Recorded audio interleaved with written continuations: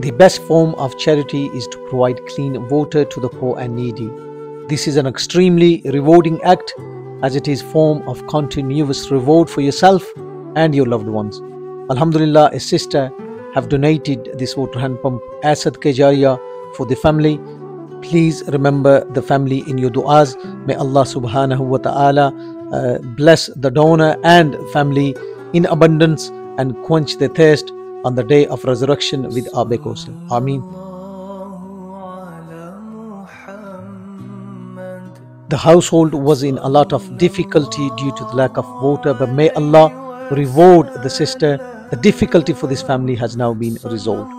These are the type of people, Istra ke log hain jinki hum हम ki donation se support kar rahe hain, and there are many more like this. Please visit our website and donate wholeheartedly. Thank you.